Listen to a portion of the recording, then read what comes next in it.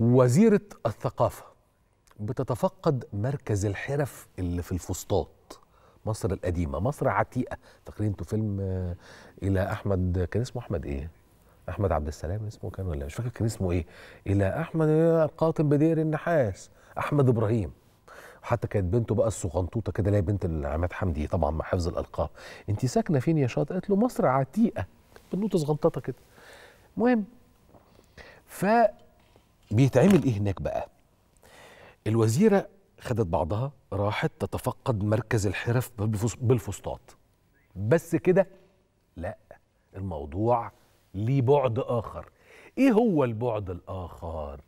الوزيرة عايزة تاخد المنظومة دي وتبدأ تشتغل بيها على إنه يبقى فيها استثمار.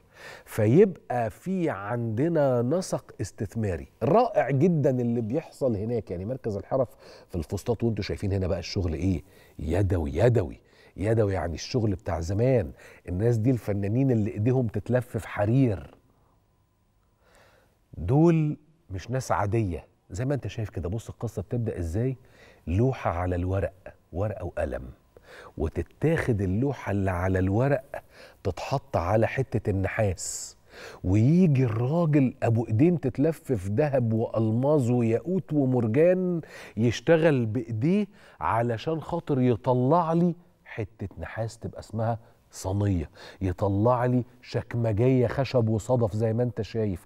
تطلع لي حتة خشب من اللي بالك فيه الحاجات دي بتبقى غالية جدا قوي خالص خالص.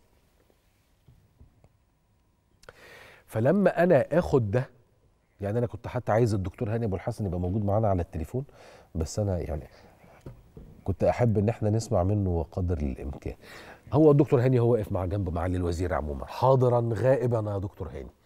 المهم فاللي إحنا عايزينه هو إنه أو اللي عايزاه وزيرة الثقافة عايزاه إنه إحنا نبدأ نخش في مرحلة التسويق لهذه الأعمال في الداخل وإنه يبقى في عندنا خط استثماري. أنا مش بقول لك خط إنتاج بالمناسبة القصة مش في خط إنتاج الشغل اليدوي ما ينفعش يتحول لخطوط إنتاج كمي ما ينفعش.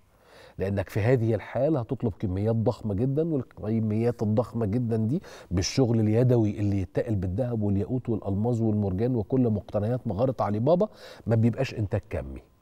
خالص. بس ده بيبقى إنتاج غالي قوي.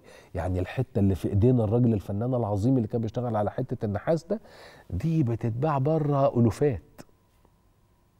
ده مش مبالغة. أنا بتكلم بجد مش هزار. ألوفات. ده شغل يد. معروفة أي شيء يدوي غالي.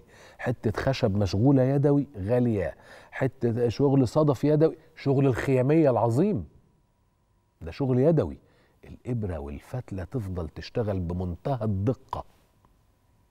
فتطلع لك لوحة بديعة كلها بالقماش وإبرة وفتلة. عاملها فنان عظيم. عظيم. بالمناسبة دي أهمية إنك أنت تبقى عضو منتسب في الجمالية.